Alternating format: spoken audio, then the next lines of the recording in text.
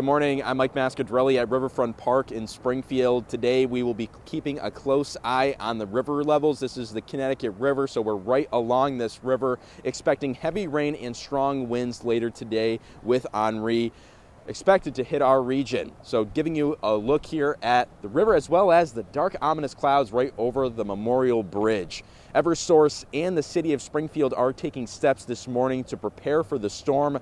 More than 1,100 crews are ready to restore power throughout Massachusetts. And Eversource has a staging area at the Eastern States Exposition in West Springfield, as well as an operations center in Springfield. And the city of Springfield will be providing an update on all storm prep efforts that's coming up this morning and going to continue monitoring the river levels here. I'm in Springfield. Mike Masciardrelli,